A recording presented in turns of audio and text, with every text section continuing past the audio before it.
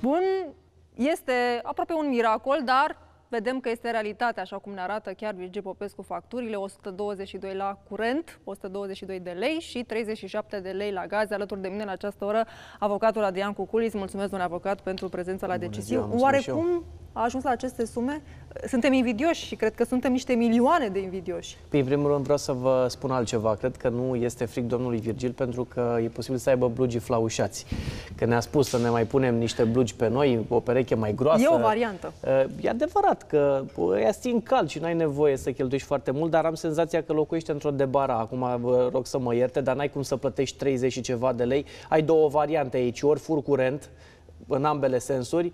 Ori... Cum s-a întâmplat cu colegul domniei sale de partid, exact, Cătălin Bobo. Exact, ori dacă E o nu... acuzație, deocamdată fac precizare, e o acuzație uh, rămâne de văzut, e un dosar penal acolo. În, ori dacă nu mai există o variantă, ai panouri solare sau ai energie alternativă și asta e ce consum din sistemul național. Are, că... domnia sa a zis că are și panouri, are păi, și electrocasnice. Să nu ne arate factura asta, vă rog să mă iertați, mie mi-a venit factura acum vreo două zile. E adevărat, fac uh, disclaimer-ul ăsta, la birou a venit 50 de milioane.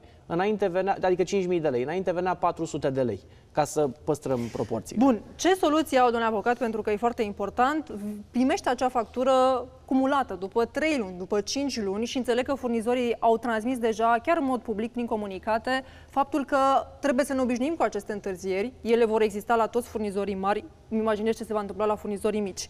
Prima opțiune, am spus noi aici, domnule avocat, ar fi plata în avans în contul furnizorului. Să știți că despre acest lucru a vorbit public ANRE. Acest această soluție a venit de la ANRE și spune așa, pe factură o să găsiți voi niște conturi, cele în care virați suma curentă pentru factură, puneți acolo niște bani, că o să vadă furnizorul că ați plătit în avans și o să vă fie mai ușor când primiți acea factură după 3-5 luni. Bun, haideți să o discutăm pe asta. Da. ANRE-ul nu și-a schimbat oricum optica, pentru că ei ne-au spus, obișnuiți-vă că urmează facturi mari. Nu, nu trebuie să ne obișnuim că urmează facturi mari, trebuie să găsite niște soluții ca ele să fie rezonabile. Adică ceea ce ne spune ANRE-ul este dacă primesc o factură neregularizată de nu știu, 300 de lei, 500 de lei, să plătesc 1000 de lei. Dar ăla care are 2000 da. de lei cu totul, cum face? Poți să plătești în avans, domnule avocat? Poți să plătești în contul de client, dar nu asta e problema. Problema este că ele sunt oricum foarte mari. Și plata în avans, vă mai spun încă o chestiune. Vă dau dacă, și a doua opțiune. Dacă faci plata asta în avans, din punctul meu de vedere, ă, ar trebui să-ți plătească dobândă pentru banii pe care ei au ei acolo. Pentru că îi creditezi. Pentru că este un fel de creditare, exact. Ă, a doua opțiune, pui deoparte bani pentru factură. Astfel încât, practic, îți faci un cont, nu? Sau pui chiar nu e vorba românească. E o, pui bani la Este o evidență care poate fi deranjantă. Adică îmi spui că trebuie să fac niște economii. Asta știam și eu, dar trebuie să am din ce să fac economiile respective. Și să am o noțiune despre cât trebuie să economisesc. Părerea mea este că orice fel de regularizare este greșită. Haideți să vă dau un exemplu din zona mea de confort, din zona juridică. Dacă eu vă emit o factură și vă spun, ok, atâta costă serviciu. Vin peste 3 luni de zile și vă spun, am regularizat și mi-am dat seama că am stat mai mult de 5 ore la procesul respectiv, mi se pare că treaba asta este ilegal. Și a treia opțiune, uh, cer plata eșalonată a facturii la furnizor. Aici ar fi interesant e, da. dacă furnizorul Eu... ți aprobă, pentru că în contractul pe care clientul îl are cu furnizorul de energie nu scrie așa ceva. E o discuție interesantă, într-adevăr. Uh, noi cred că avem în jur de 300 de cereri deja făcute către ANRE uh, și către furnizori.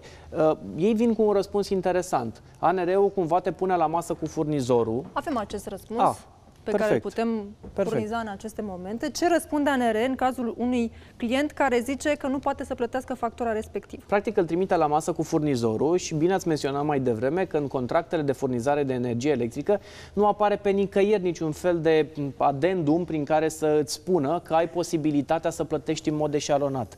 Solicităm reprezentanților furnizorilor, aici sunt denumiți ei, exact. în vederea, deci o întâlnire între furnizor și petent, da, cel care se plânge, în vederea clarificării aspectelor reclamate cu privire uh, la factura reclamată și e, pentru întreprinderea măsurilor necesare aici remedierii este, situației. Aici este interesant, întreprinderea măsurilor necesare. ANR-ul are posibilitatea să facă lucrul ăsta, să-i pună la masă pe furnizor și pe uh, cumpărătorul de energie electrică, respectiv pe cel care este utilizatorul final.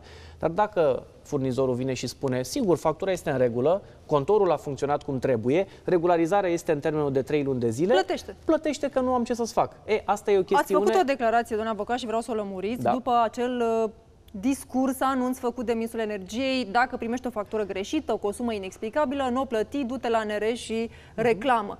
Dacă nu-ți plătești factura, spuneți că e posibil să-ți pierzi casa. De ce? Da, este adevărat. Factura la energie electrică este titlul executoriu și dacă ai o factură de mii de lei, în momentul în care factura respectivă îți depășește 10.000 de lei, ești pasibil de a fi executat silit pe imobil. Să știți că sunt multe persoane care nu au niciun fel de venit. Au venituri, spre exemplu, din uh, ajutoare sociale și așa mai departe. Sunt mulți sunt în situația asta sau sunt zilieri, deci nu sunt identificați cu venituri clare.